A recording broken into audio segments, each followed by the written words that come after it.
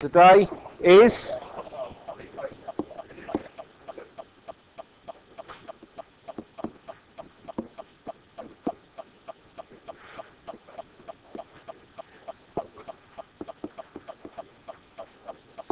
Kirchhoff's current and voltage laws.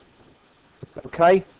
From now on, shortened to KVL KCL. And we're going to do their use in solving DC at this stage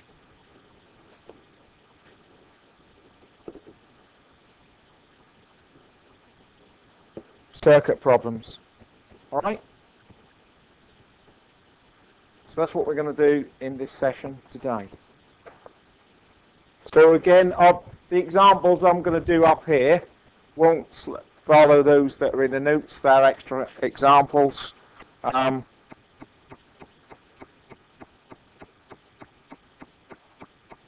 and there are tutorial questions in the notes that you can we'll be working on a bit later on. Okay. So that's that's what we're doing. So, Kirchhoff's current law.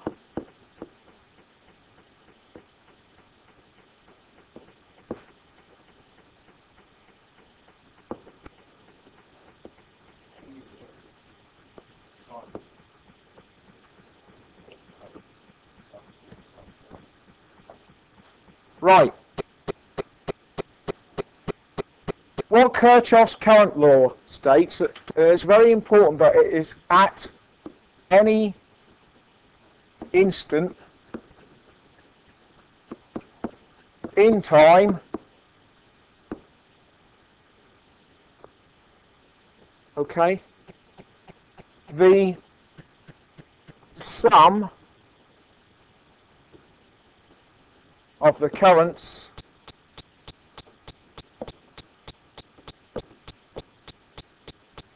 at any junction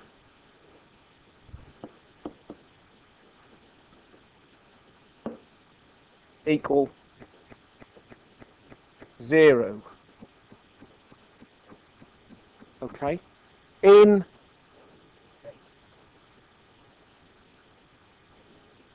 not quite, not yet, no, not with this. What we're saying is that by e.g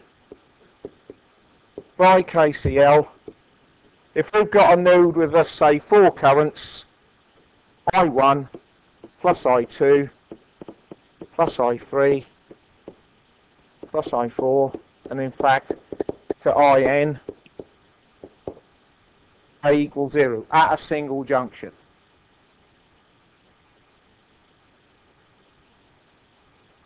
So what we're saying is if we've got a junction there like that, and we've got a current there.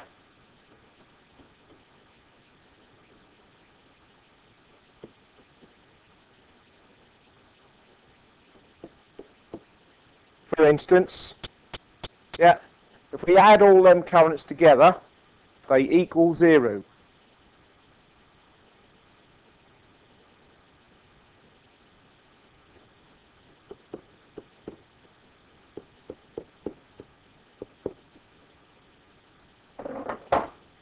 Anyone, is anyone confused by that?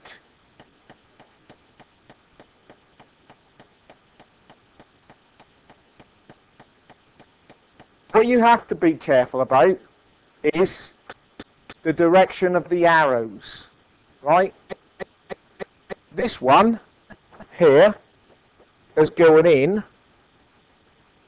those two are leaving. Yeah. Therefore, if we consider going in as positive, we're adding current to that junction. Leaving it has got to be considered negative. So another way of writing this is I1 is equal to I2 plus I3. Yep.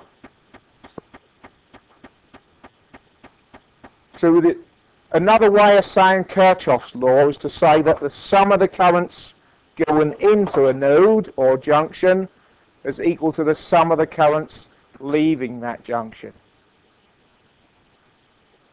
And I've found describing it that way is more understandable to the students I teach than that statement about them all summing up to zero. Because that statement means at least one of these must be considered negative in compared to uh, all the others. More than one might be negative in terms of the others.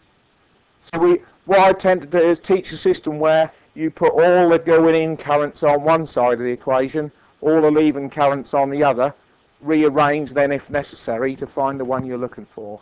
So what Kirchhoff's law allows us to do is if at any junction we know all bar one of the currents, we can use Kirchhoff's law to find the unknown one.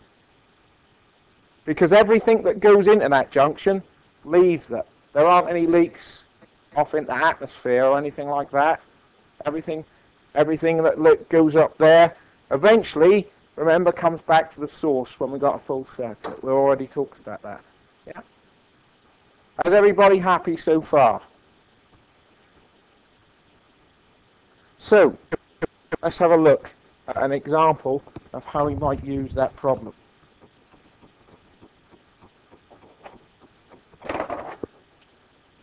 There's a junction.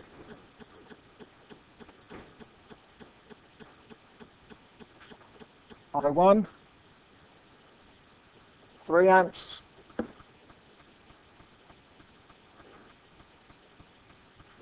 I4, 5 amps,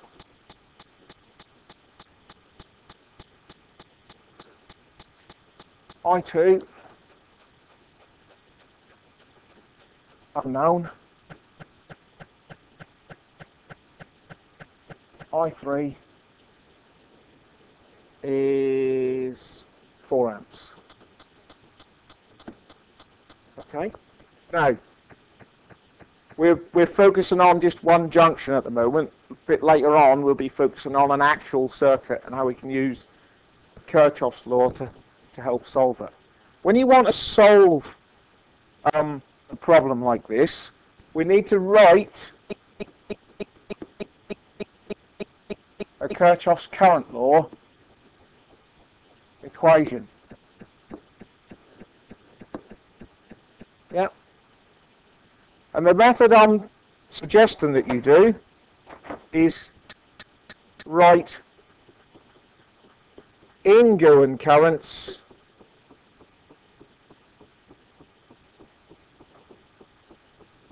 on left hand side of equals outgoing on right hand side of the equal sign like this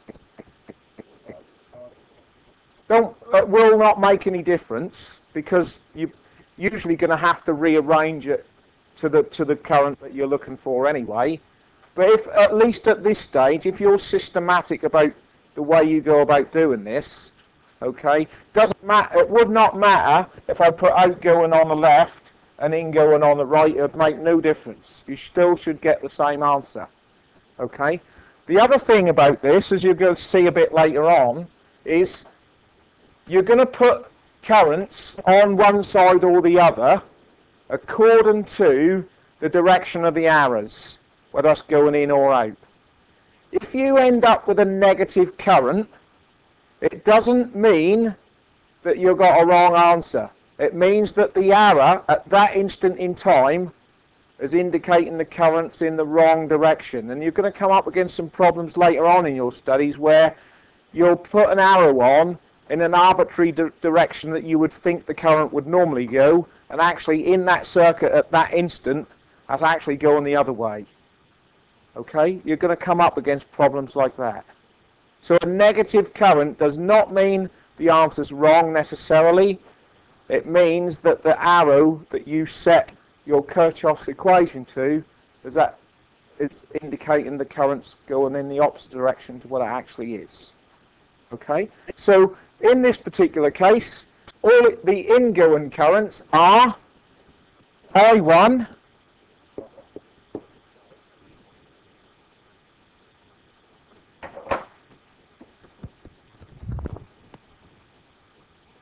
on my thing here, let's put that the other way. In. So I3 is in. So I1 plus I3 is equal to I2 plus I4. So we've got two currents on either side. We want to find I2. So how, what do we need to do? Subtract I4 from the side. I'm going to write I2 on this side because I'm a bit fussy and I like to have what I'm finding on the left hand side. That's equal to I1 plus I3 minus I4. Now we can put the numbers in and I'm modelling here how I would expect you to like current law answer out in an exam question stage by stage so I can see where your thinking comes from. So we got I1 as 3 amps, I, I3 is 4, and I5 is 5. So the final answer, 3 plus 4 is 7 minus 5, so I2 is 2 amps. Yep, everyone happy? Not hearing any dissenting voices. It's marked A and B. So just write the equations in the same form as we've done the last one.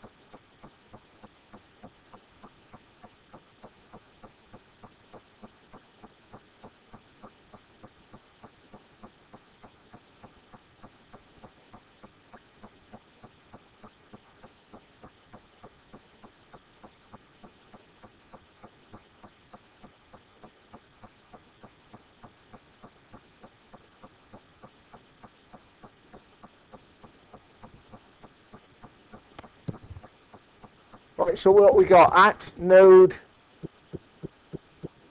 I, what's, what, what have you got? Node, there's an A in node.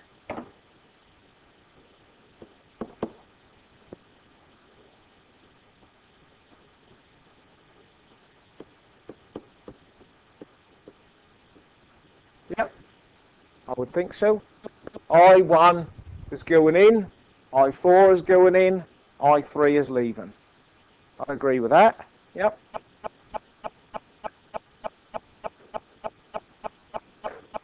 And that node B.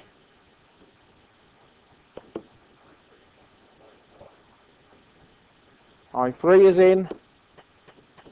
I5 is in. I2 is leaving. Yep.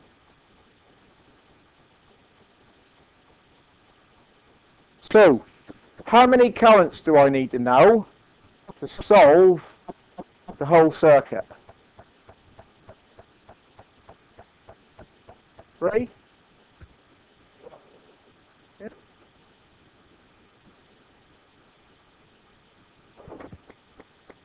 So I can pick any three, can I?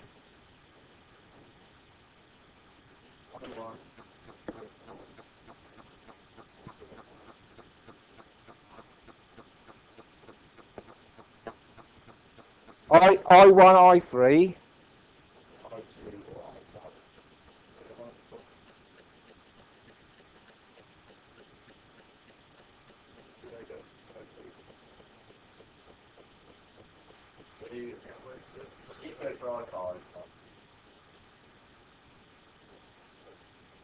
You sure?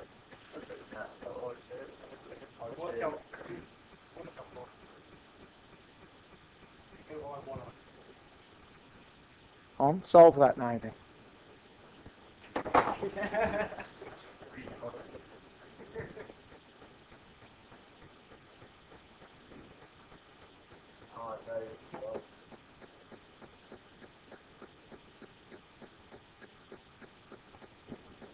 That's alright, I'm not going to put it back. I just want to, I just want another version to, to demonstrate a point.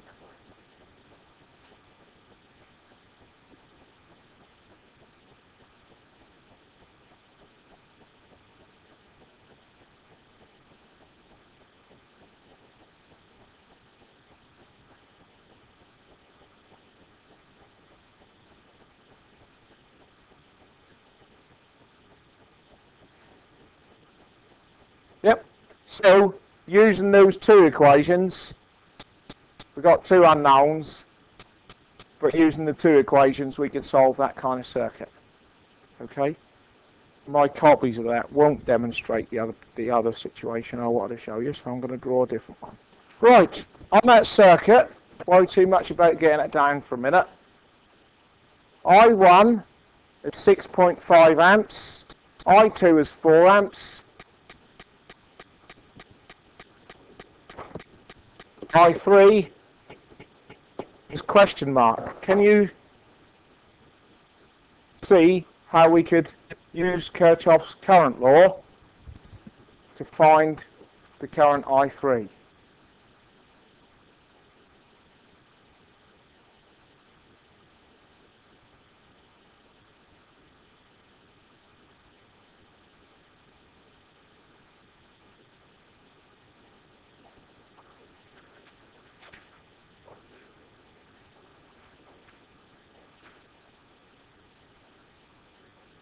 Yeah.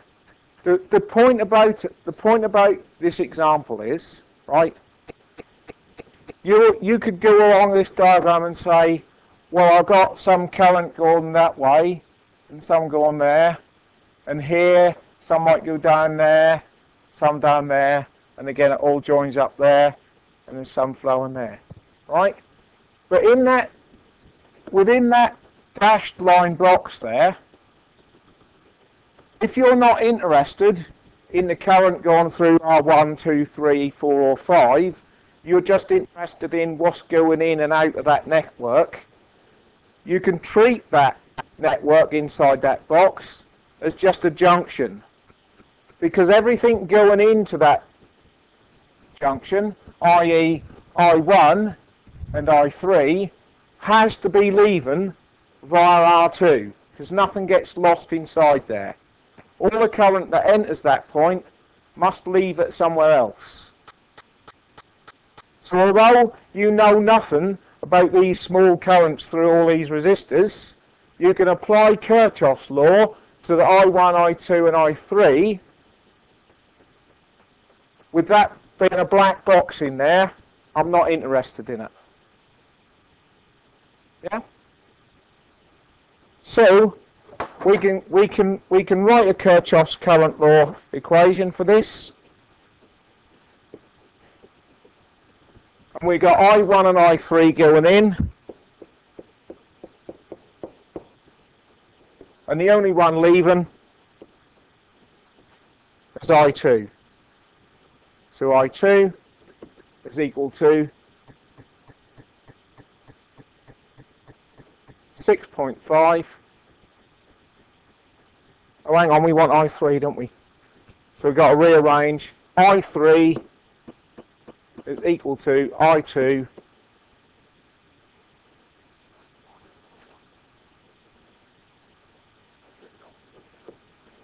minus I1. Right, yeah, well I said you might do, didn't I?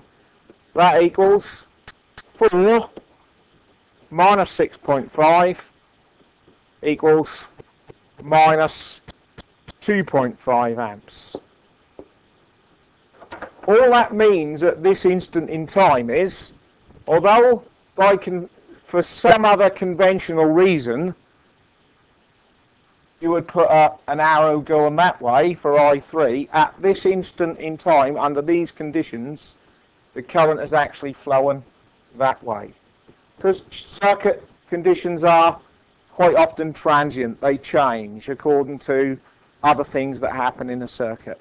So you apply, when you apply Kirchhoff's current law, you're applying it at an instant in time. Yep. So all that actually means is that at this instant in time, the current's not flowing in at node at, at this node here, I3. It's actually going in the opposite direction. It's actually negative. So we could turn the, the arrow the other way round, or we can say I3 is minus 2.5 amps. Put the arrow the other way, it will be positive 2.5 amps. Everyone happy with that? Yeah?